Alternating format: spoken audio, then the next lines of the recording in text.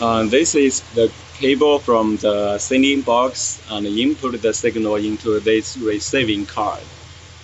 And another cable out from the receiving card to uh, another cabinet. You see.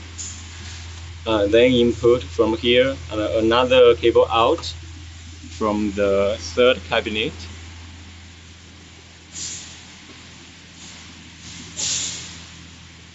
Uh, one by one.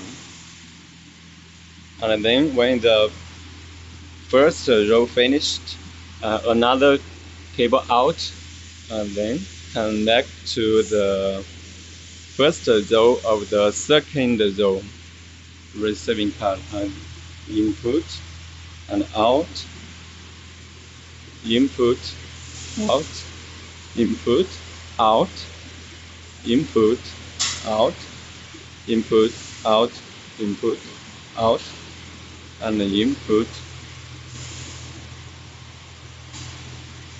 Actually this um, cable do not need to connect this uh, anymore. When you finish the connect if just two rows you do not need to connect this cable anymore.